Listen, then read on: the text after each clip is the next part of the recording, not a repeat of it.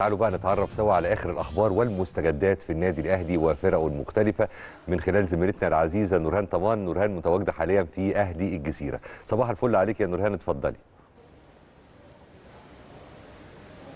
يا صباح الفل يا كريم صباح الخير يا نهاوند وصباح الفل على كل مشاهدي قناة النادي الأهلي في كل مكان.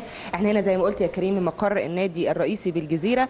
دايما زي ما عودناكم نطلعكم على أخبار النادي والأجواء ويمكن آه، زي ما تعودنا في الساعات الأولى من صباح اليوم آه، طبعا آه، أبواب النادي بتفتح لاعضاء النادي وفي ناس كتير طبعا بتحب تيجي تاخد يمكن قهوتها أول يمكن ساعة من اليوم هنا في النادي وتستمتع بالشمس الخفيفة يمكن قبل ما آه، الشمس تبقى حامية شوية في آه، الساعات آه، يعني على طبعا بداية الظهيرة.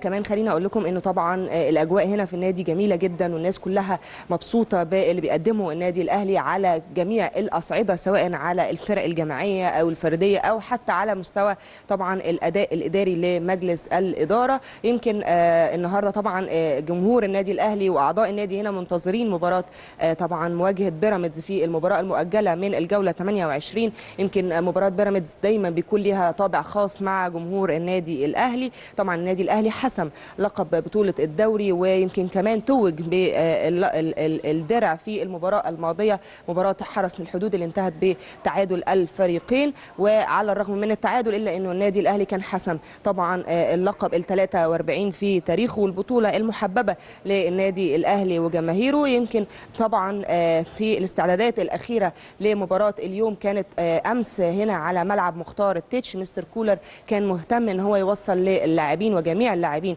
على أهمية المباراة وأهمية تقديم آه، آه، مباراة جيدة تليق ببطل الدوري وعدم الاستهتار بالمباراه وعدم التعامل مع المباراة على إنها تحصيل حاصل.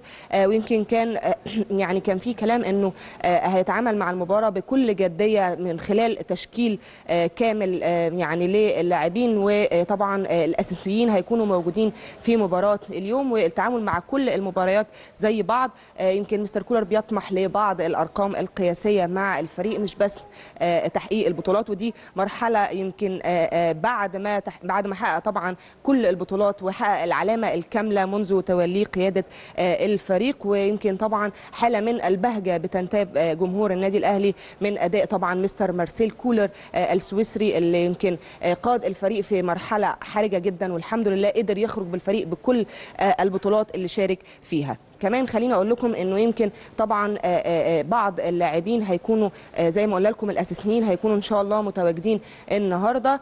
كمان خليني أقول لكم إنه في يمكن بعض العروض اللي بتقدم لمجلس إدارة النادي الأهلي والجهاز الفني حول معسكر الفريق القادم آه، الخارجي آه، عن طريق بعض الوسطاء. ولكن حتى الآن لم يتم تحديد مكان آه، معين آه، أو بلد آه، يعني هيكون فيها المعسكر أو هيقام فيها المعسكر. ولكن بعض الوسطاء زي ما قلنا لكم عرضوا على آه، الجهاز الفني آه، آه، بلدان زي هولندا والإمارات وأسبانيا وطبعا آه، النمسا. آه، كمان خليني أقول لكم إنه مستر آه، كولر آه، زي ما قلت لكم لسه ما حددش آه، المكان اللي هيكون فيه آه، معسكر الفريق.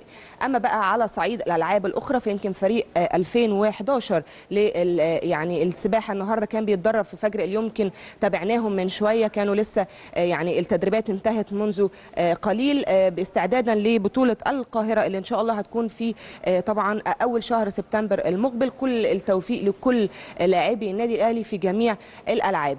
يمكن كمان خليني أقول لكم إنه طبعا يعني لا زال يعني التوافد مستمر على فرع القاهرة الجديدة وطبعا في التجمع الخامس والناس لسه بتسأل والناس لسه مهتمة إن هي تسأل عن آه، آه، يعني أسعار آه، يعني عضوية فرع التجمع الخامس. ولا زال يعني طوابير كتير جدا موجودة في الفرع وطبعا إقبال كبير جدا على لجنة العضوية اللي بيرأسها السيد طبعا طارق أنديل عضو مجلس إدارة النادي الأهلي.